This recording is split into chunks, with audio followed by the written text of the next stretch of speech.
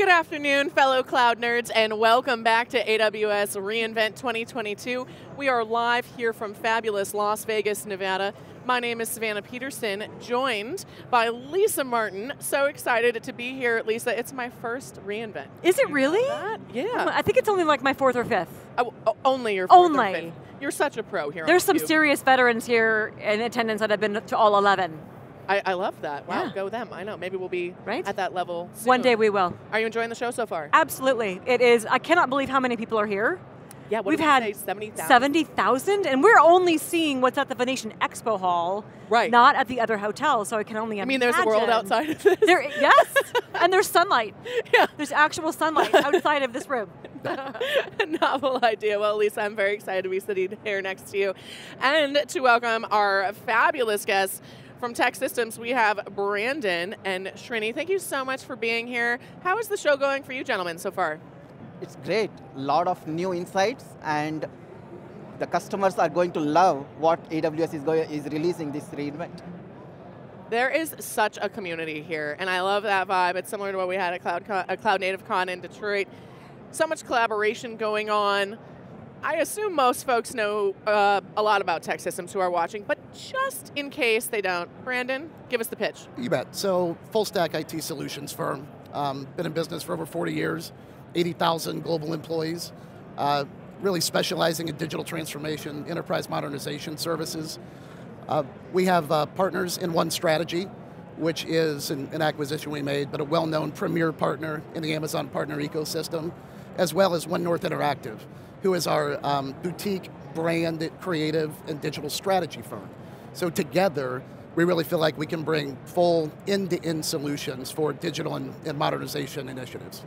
So you, I, I saw some notes where TEKsystems is saying organizations need experienced AWS partners that are not afraid doing the dirty work of digital transformation, who really can advise and execute. Brandon, talk to us about how TEKsystems and AWS are working together to help customers on that journey of, which is nebulous, of digital transformation.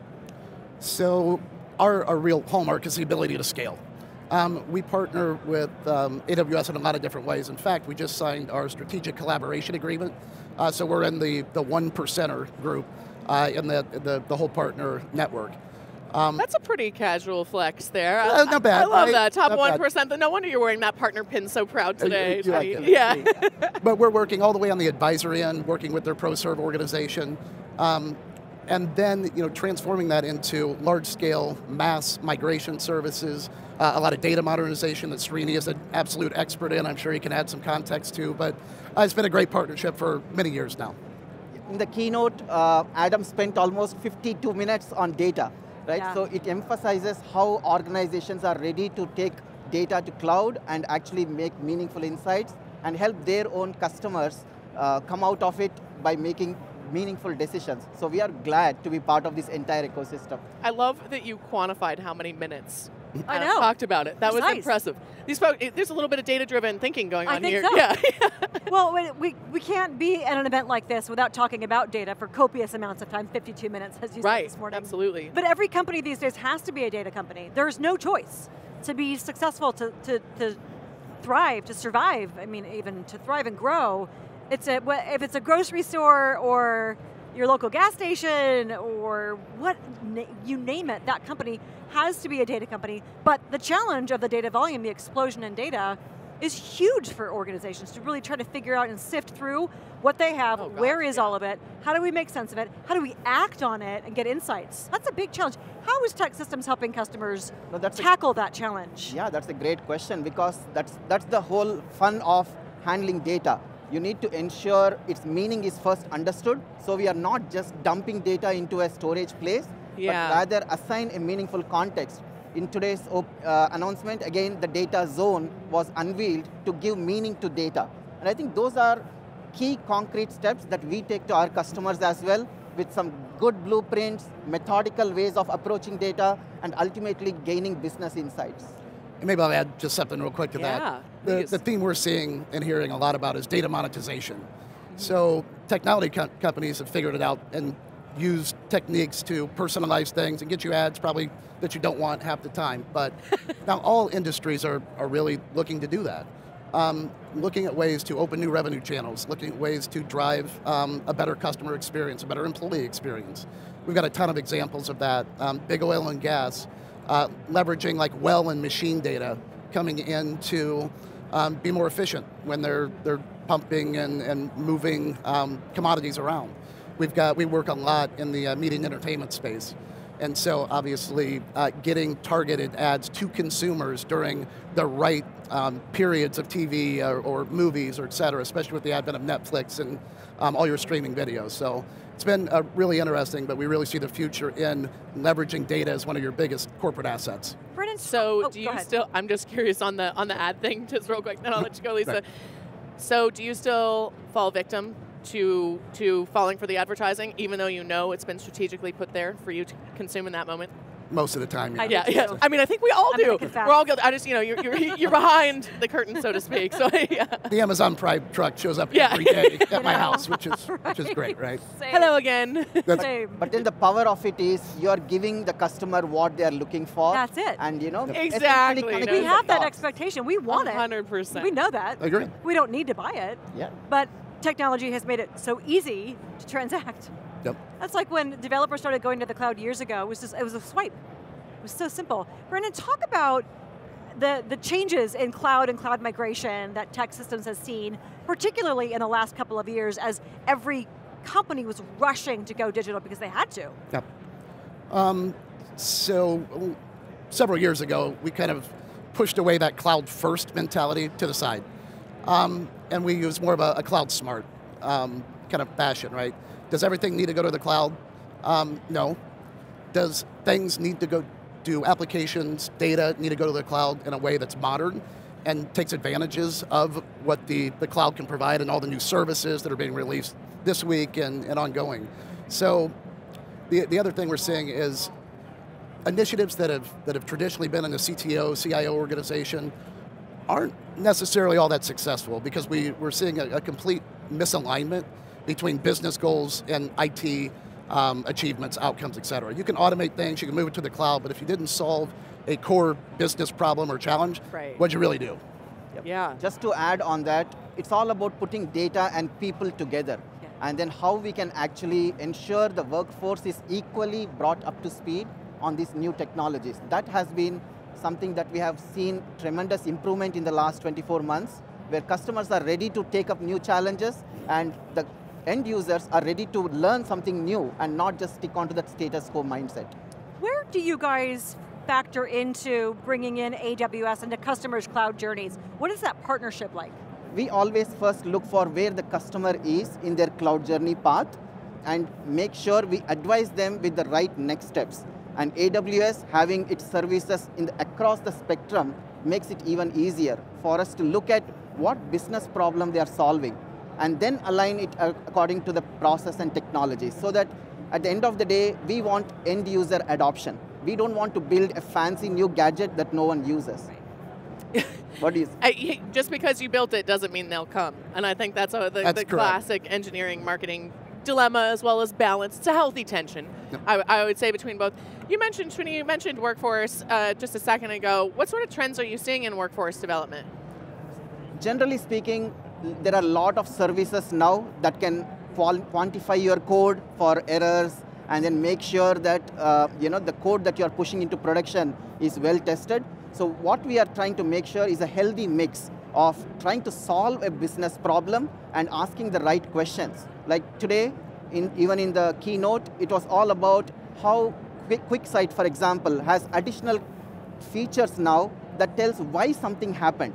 And that's the kind of mindset we want our end users to adopt. Not just be uh, restricted themselves to a reactive analytics, but rather ask the question why. Why did it happen? Why did my sales go down? And I think those technologies and mindset shift is happening across the workforce. Um, from a from a workforce development standpoint, we're yeah. seeing there's not enough workforce in the core skills of data, um, DevOps, uh, standard you know cloud type work. So we're actually a, um, an ATP advanced training partner, one of the few uh, within the, the AWS network.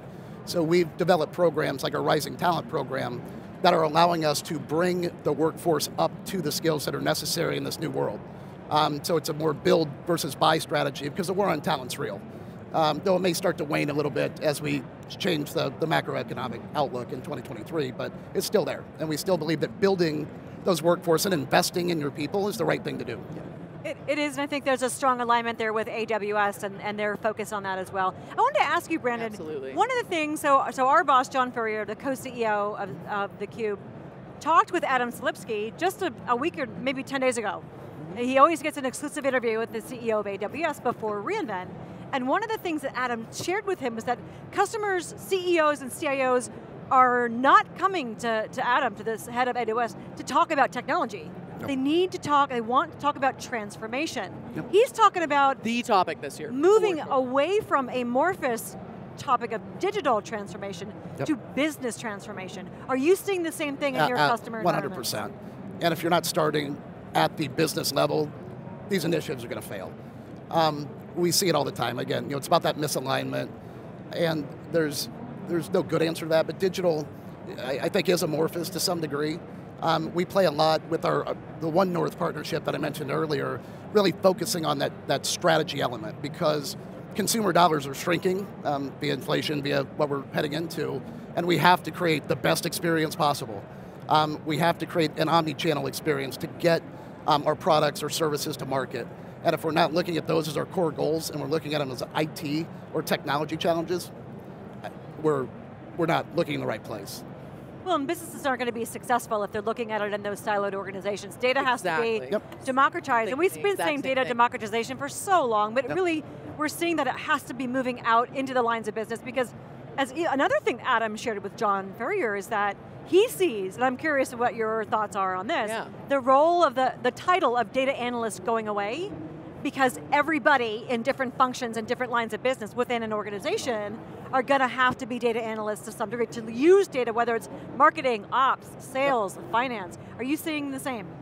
That is true. I mean, uh, at this point, we are all in the connected world, right? Every data point is connected in some form or shape to We are another data data point. We are many data points right. just sitting here. Yeah. Absol- Absolutely. So I think uh, if you are strategizing, data needs to be right in the center of it, and then your business problems need to be addressed with reliable data. No, I mean, advertising, supply chain, marketing, they're, they're all interconnected now. And, Oh, we're, yeah. and we're looking at ways to bring um, a lot of that siloed data Yeah. into one place so we can make use to it. And it goes back to that monetization element of our data. It's a lot about context and situational awareness. We want what we want when we want it, even before we knew we needed it then. Yep. I think I said that right. But you know, it's, it's, it's, it's, it's always more faster, quicker, and then, and then scaling things up. You see a lot of different customers across verticals. You have an absolutely massive team. Give us a sneak peek into 2023. What, what does the future hold? 2023 is again to today's keynote. I'm bringing it back because it was a keynote filled with vision and limitless possibilities. And that's what we see right now. Our customers, they are no longer scared to go and take that plunge into the cloud. And as Brandon said, it's all about being smart about those decisions. So we are very excited that together with the partnership that we recently acquired and the services and the depth, along with the horizontal domain expertise, we can actually help customers make meaningful message out of their data points. And that keeps us really excited for next year. Love that. Brandon, what about you? I think the obvious one is FinOps and a, and a focus on optimization, Yeah. uh, financially, security, et cetera, um, just with the changing times. Uh, the other one is I, I still think that digital is going to continue to be a, a big um, push in 2023. Namely, making sure that experience is Yeah. at its best, whether that's employee and combating the war on talent, keeping your people, or opening new revenue streams, um, enhancing existing revenue streams. You got to keep working on on that. We got to keep the people happy with the machines That's and right. the systems that we are building, as as we all know. But I, it's very nice. It's been a lot of human-centric focus and, and a lot of customer obsession here at the show. We know it's a big theme for y'all, for Amazon, for pretty much everyone who's sat here. Hopefully, it is in general. Hopefully, there's nobody who doesn't care about their community. We're not talking to them if that's the case. We have a new challenge on the cube for the show this year, as we kind of prepped you for and you can call it a bumper sticker, you can call it a 30 second sizzle reel, but this is sort of your Instagram moment, your TikTok, your thought leadership highlight. What's the most important story coming out of the show? Srini, you've been You've been quoting the keynotes very well, so I'm going to you first on this one. I, I think overall, it's all about owning the change. In, in our TEKsystems culture, it's all about striving for excellence through serving others and owning the change. And so it makes me very excited that when we get that kind of keynote resonating the same message that we imbibe culturally, that's a big win-win for all the companies. It's all about the shared vision. A lot of people with similar vision in this room right yeah. now. In this yep. room, like it's a room. It's a massive expo center, just to be clear. I'm sure everyone can see in the background. Brandon? I would say partnership, um, continuing to enhance uh, Yeah. our strategic partnership with AWS, continuing to be our, our customers, partners in transformation, uh, and bringing those two things together here has been uh, a predominance of my time this week and will continue throughout the week. But um, we're in it together with our customers and with AWS and looking forward to the future. Man, what a, that, that's a beautiful note to, to end on there. Brandon Srini, thank you both so much for being here with us. Fantastic to learn from your insights and, and to continue to emphasize on this theme of collaboration. We look forward to the next conversation with you. Thank all of you for tuning in wherever you happen to be hanging out and watching this fabulous live stream or the replay. We are here at AWS reInvent 2022 in wonderful sunny Las Vegas, Nevada with Lisa Martin. My name is Savannah Peterson. We are theCUBE, the leading source for high-tech coverage.